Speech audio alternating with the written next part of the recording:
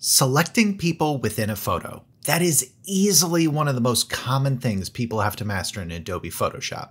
And I'm about to show you how that simple task has gotten a whole lot easier with the Select People feature. Now, the heart of this feature is an improved method on tools that have existed before, but they've been simplified and given us a level of control that we've never had before. To activate this tool, all we have to do is go over here to our Object Selection tool, or we can use the W shortcut to bring that up. Now with that tool selected, we can see up at the top we get this Select People button.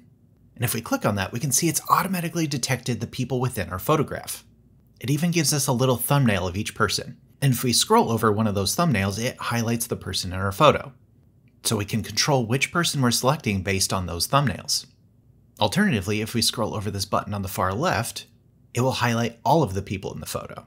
And we can also see that it treats some objects a little separately. So each of their drinks are not selected, as well as any glasses within the photo.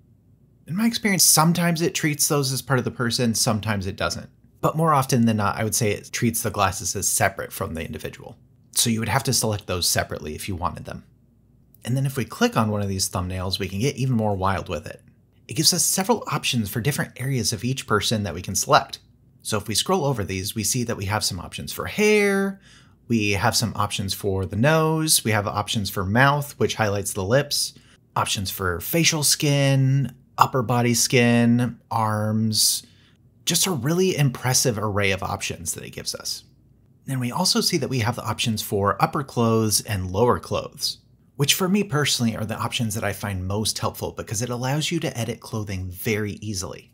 Now I'll also note that there's a selection down here for accessories, which can highlight things like rings, necklaces, earrings, things like that.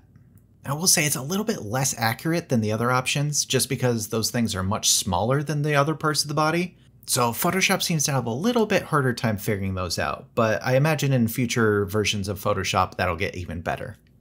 Another fun thing to notice is even if we don't use this menu, now that it's detected the people within our photograph, if we take our object selection tool and run it over our subject, it is now highlighting those different parts of the body the same way that it would with our select people menu. And if you want to select an entire person, just scroll to the edge of that person and then you'll get the entire selection. That way we can choose for ourselves how we actually want to use these tools. Now in our case, let's just say that we want to select this person here and we want to select their lower clothes, which in this case will select her skirt. So we click on that, then all we have to do is click apply. And now we have that selection loaded in.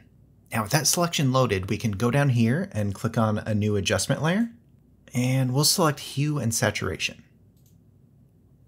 And you can see because we had that selection loaded, it's automatically made our layer mask. So as we move this hue slider, it's only selecting that one area. So we can go and make this kind of a fuchsia color. This way we can change the color of the clothing really, really easily, letting us make some fine-tuned adjustments without altering our entire photograph. And since we have that layer mask applied, we can really easily refine that selection later on if we need to. And that's it. That's how you use the Select People function in Adobe Photoshop.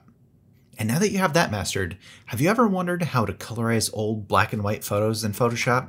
I have a video right here to walk you through how to do just that.